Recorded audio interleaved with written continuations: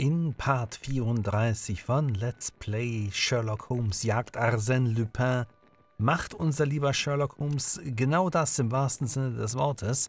Wir sind durch einen Geheimgang im Buckingham Palast ähm, dem Arsène Lupin hinterhergestiegen, der es geschafft hat, der Königin Victoria einen Kuss zu rauben, wobei sie sich nicht sehr dagegen gewehrt hat. Und wir haben hier jetzt unglaublich viele Kunstschätze vor uns. Oha. Oh. Das Holz dieser Statue ist unbeschädigt. Sie muss sehr schwer sein, aber es ist möglich, sie ein wenig anzuheben. Aha. Diese Orgel ist verfallen, aber die Stahlpfeifen sind aus widerstandsfähigem Metall. Keine von ihnen wurde beim Umfallen beschädigt und sie sind nicht mit der Zeit verrostet. Interessant. Was war das hier?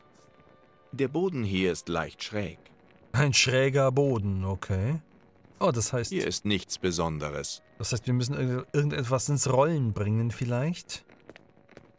Oh, war die Tür vorhin auch schon auf? Hier ist nichts Besonderes. Die war doch zu gerade eben, oder? Lupin muss das Schloss eingehakt haben, aber es hat sich hinter ihm verschlossen. Dieses Gitter ist in keinem guten Zustand. Wird es nachgeben, wenn man Gewalt anwendet? Das Gitter ist offen, Leute.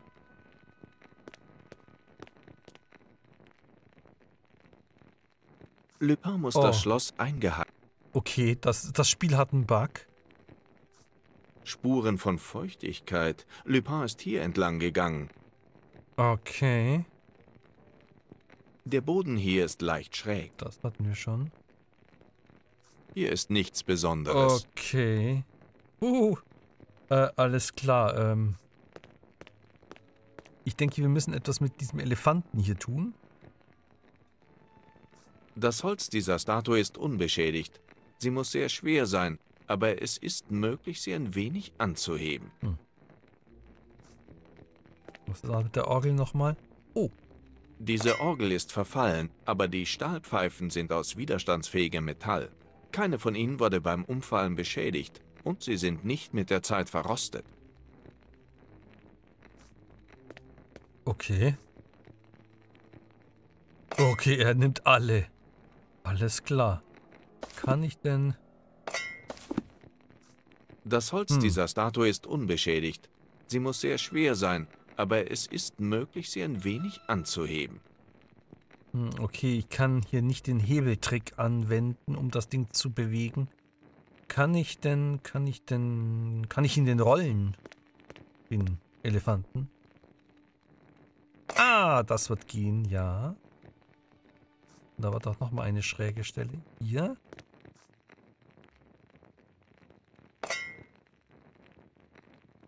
So, jetzt müssen wir eine offene Tür eintreten, sozusagen. Sie und ich, Lupin. Sehr schön. Erledigt. Aber Lupin weiß jetzt auch, dass jemand hinter ihm her ist. Alles klar, dann heißt das, wir sollen uns beeilen. Jetzt ist sie wirklich offen. Lupin, er ist da. Also eigentlich ist er ja weg. Was Zeit hier? Was ist das? Diese Schaftstücke sind von dem Schloss. Lupin muss sie heruntergeworfen haben, nachdem er diese Tür wieder verschlossen hatte. Hm. Ach, er hat sie verschlossen. Der Schließmechanismus dieses Gitters scheint ziemlich ausgeklügelt zu sein. Okay. Alles klar, Leute. Ein XII Plus. Minus. Das sind, oh, ach, das sind römische Zahlen. Schaut mal. X. V. L ist auch eine römische Zahl, genau. 50. C. 100. Okay, und was soll ich jetzt hier machen? Äh. Ah, ist gleich. Ah, hier ist ein ist gleich. Jetzt sieht's. Okay, 12 plus irgendwas minus 52 ist gleich 100. minus... Mhm. Was, was, was, kann ich denn... Äh, hallo? Ah, okay. Also sie hat mal gesagt, das hier ist V. Äh, das wird doch hier aber auch ein Plus sein, oder? Aha. Vielleicht ist das auch ein Plus, wer weiß. Okay, 100 minus 7 plus... Hm, hier. Hm. Hm. So, und jetzt... Äh, okay.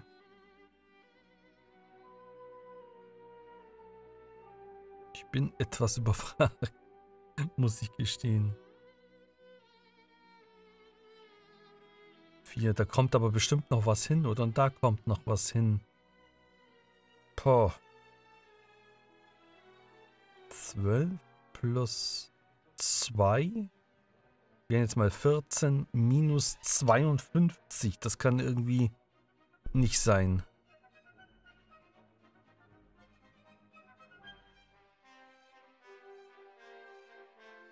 Hundert minus sieben plus... Aber da, das muss jetzt auch kein Plus sein. Das kann sein, dass das jetzt auch ein... Achso, doch, das muss ein Plus sein. Äh...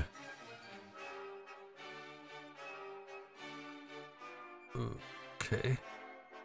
Und das sieht aber auch noch nach, danach aus, als wäre da noch was frei. Hm. Hm. Okay, ich mach mal einfach irgendwas.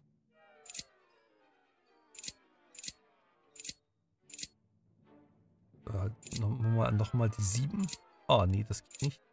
So. 12 plus 7 minus 52 macht auch keinen Sinn. Nee, die minus 52, das ist wahrscheinlich wieder ein Plus, oder? Na, na. So, vielleicht. Und das wird auch ein Plus sein. Muss nicht, aber 100 plus 7 plus na.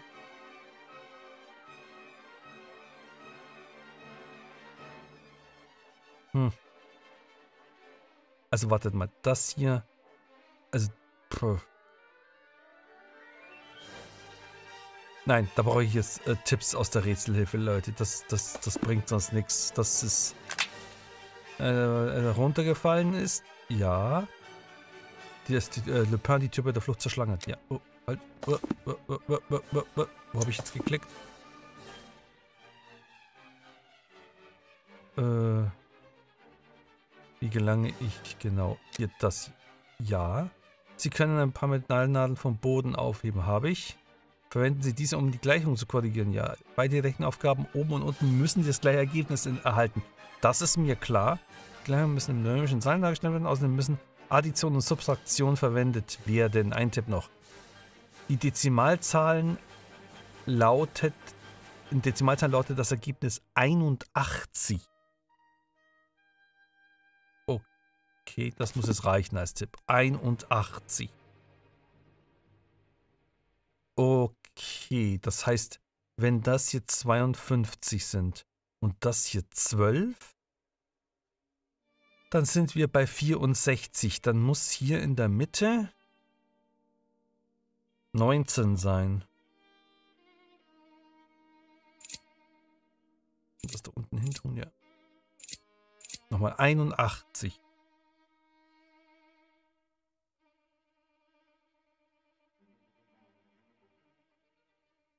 Nee, warte mal.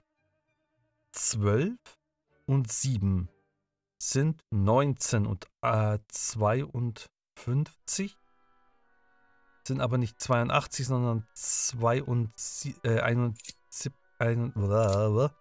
nicht 81, sondern 71. Das heißt, ich brauche noch irgendwo 10.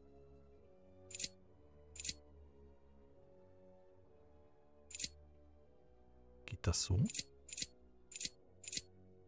Ah, 22 und 7 sind 29 und 52 sind 81. Gut. Dann mache ich mal das da unten kurz mal nochmal weg. 100 minus 7.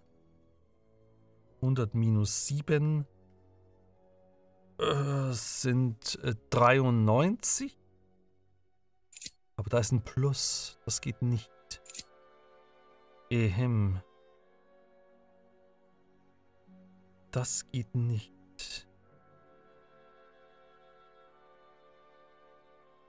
Uh. Das heißt, das hier müsste eine relativ große Zahl sein. Kann das...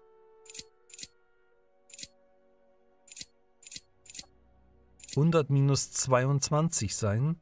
Dann wären das 88. Es müssen aber 81 rauskommen.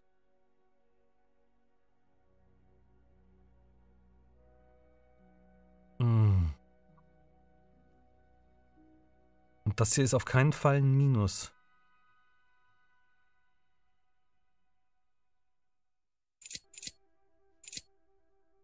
Oh.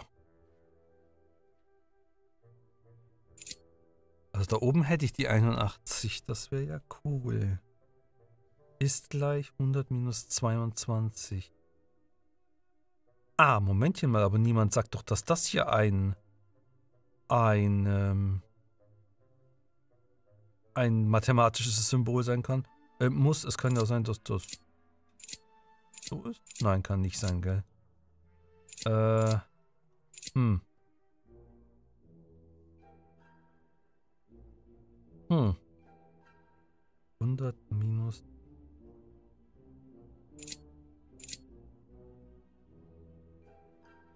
dann sind wir bei 87. Ach, Unsinn, was rechne ich denn da? 100 minus 22 sind ja keine 88, sondern 78. Ach. Plus 4 sind 82. Ach, ich bin ja mathematisch unbegabt. So. Ah. Uh. Das war jetzt eine harte Nummer. Mathe.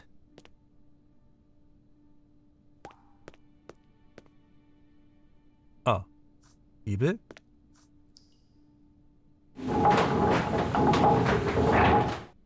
Hinein. Oh, das ist eine Fall. All diese Objekte sind antik. Sie müssen aus der normannischen Ära stammen. Da ist eine Falltür. Geschlossen. War ja nicht anders zu erwarten. Wir haben hier nichts, also brauchen wir hier etwas. Ich brauche etwas, einen Drachen zum Beispiel. Der Bug dieses normannischen Langschiffs ist sehr schwer und scheint ziemlich robust zu sein. Warum erwähnst du das so?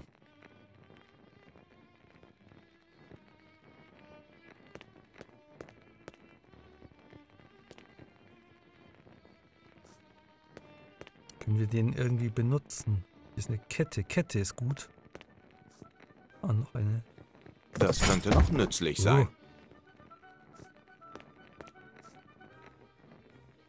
Das könnte noch nützlich sein. Kann ich euch... Jawohl. Darum binden vielleicht? Ah, halt, Verzeihung. Und so eine Art Flaschenzug. Ah, da oben, schaut mal, Flaschenzug.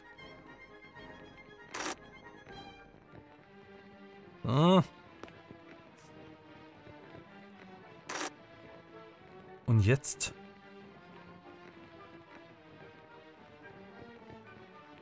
Jetzt ist aber fraglich, was ich jetzt hier tun muss. Ein Hebel. Bringt der mir was?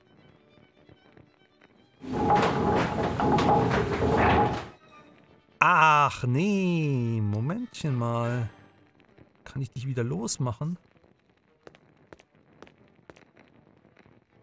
Nee, kann ich nicht. Dieser Teil ist in einem erbärmlichen Zustand. Hm. Wir haben das hier am Zahn festgemacht, Leute. Ähm. Ich muss einen Fehler gemacht haben. Zeit zum Nachdenken. Hm. Hm.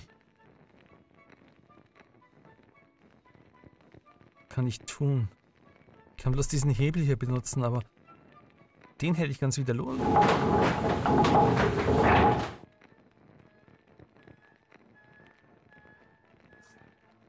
Ich muss einen Fehler gemacht Ja, haben. irgendein, Zeit zum Nachdenken. irgendein Fehler. Ach, ich habe ja die Kette noch in der Hand. Elementar. Okay. Und was machen wir jetzt Elementares?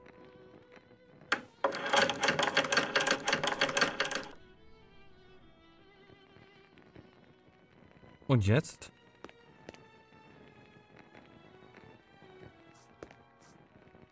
Ach, lass mich den jetzt runtersausen. Ah!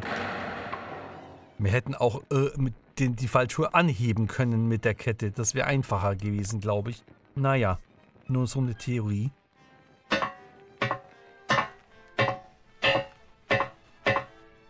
Ich bin ein Stockwerk weiter unten.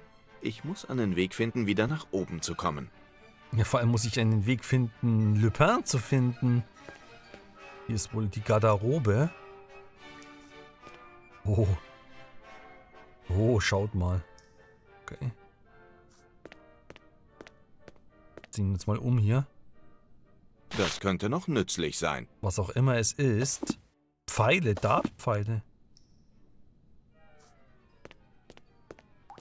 Okay. Oh. Hm, da ist etwas drin. Aha. Ist da auch was drin? Das ist der Teil eines indianischen Totems. Okay, noch ein Teil. Das ist der Teil eines indianischen Totems. Hm.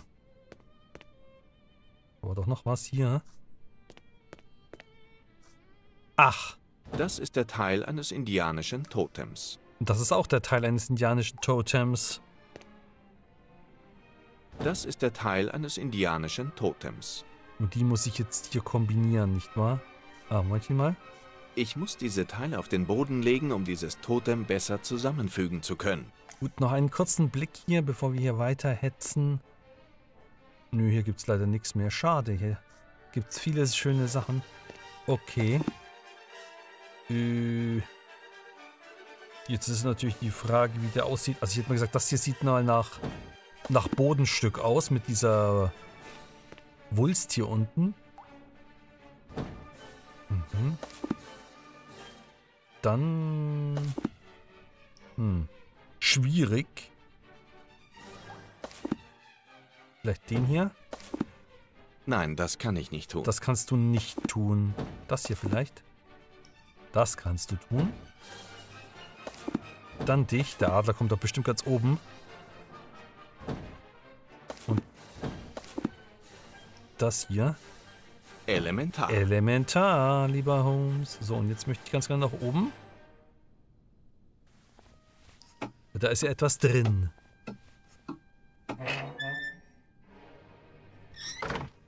Okay, ein Spielzimmer. Billard. Falltür, sind wir rausgekommen. Schaut mal kurz das hier an. Nicht, dass es sich dahinter versteckt. Elementar. Offen. Elementar offen. Was war dann das andere hier? War das nur eine, eine falsche, Hier ist nichts Besonderes. nur eine falsche Fährte? Nee, dann äh, dadurch. Wahrscheinlich äh, müssen wir uns jetzt mit den Pfeilen hier bewaffnen. Och nö, das nächste Zimmer hier. Schaut mal. Das könnte noch nützlich sein. Wofür denn?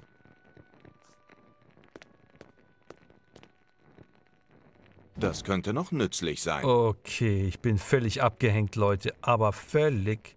Noch ein kaputter Spiegel oder verschmutzter Spiegel? Ich brauche etwas. Du brauchst etwas, Holmes. Das könnte noch nützlich sein. Jawohl. Oh, da oben ist etwas. Ich bin ein Stockwerk weiter unten.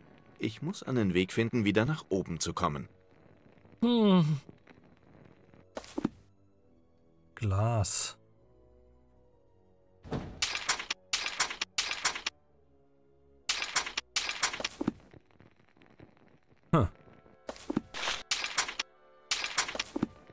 Tja, Leute, aber was wir hier tun, um nach oben zu kommen, das schauen wir uns dann im nächsten Part an von Let's Play Sherlock Holmes Jagd Arsène Lupin. Hier ist nichts Besonderes. Hier sind lauter besondere Sachen, aber irgendwie weiß ich nicht im Augenblick, was wir tun können. Aber das finden wir bestimmt raus im nächsten Part. Ich werde mal offscreen noch ein bisschen rumtüfteln, was wir hier tun müssen. Vielleicht müssen wir hier irgendwie so eine Rampe raufbauen. Also vielleicht, ne, mal kurz die Theorie, den hier einklemmen, dass er nicht ich brauche etwas. Na, das ist es wohl nicht. Leute, wir sehen uns im nächsten Part wieder. Bis dahin, ciao.